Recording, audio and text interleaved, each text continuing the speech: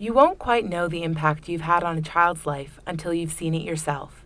So today, we're offering a glimpse.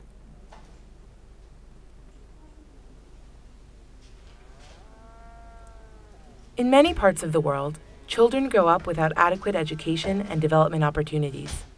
One of those places is Hatsik, Armenia. Meet Levon. He lives with his brother and grandmother in a home in Hatsik without electricity, heat, or drinking water.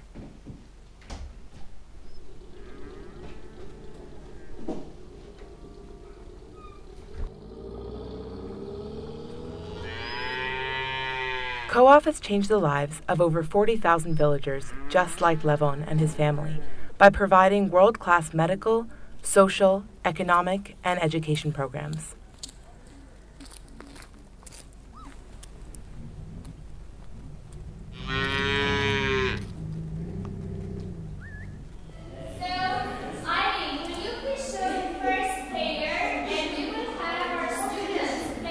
A first of its kind initiative, COAF Smart Center will use technology to connect remote parts of Armenia to the world, providing children and villagers with access to state of the art education and training in locally and globally relevant subjects.